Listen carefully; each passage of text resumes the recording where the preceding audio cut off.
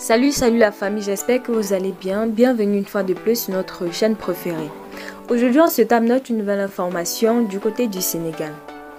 Ousmane Sonko enchaîne les procès. Après le double revers subi hier vendredi 17 novembre 2023 devant la Cour suprême et la Cour de justice de la CDAO, le maire de Sonko fait face à un autre front judiciaire.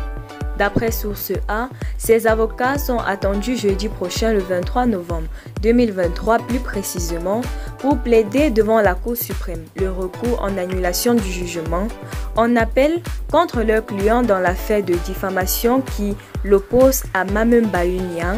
La nouvelle est sortie hier, juste après la décision de Sierre Aliba annulant l'ordonnance du juge Sabassi Faye dans l'affaire de la radiation du maire de Zingeshon.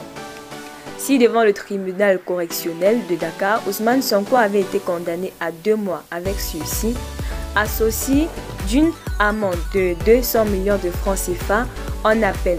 Le leader de l'ex-PASTEF avait récolté six mois avec sursis pour diffamation et injure publique. La Cour d'appel ayant confirmé le montant des dommages et intérêts, 200 millions de francs CFA. Dans la foulée, les avocats du maire de Zingeshon ont saisi la Cour suprême pour casser la décision de la Cour d'appel. Le 23 novembre reste également la nouvelle date décisive pour Osman Sonko et ses militants. Restez toujours courtois en commentaire et respectez les règles de communauté. N'hésitez pas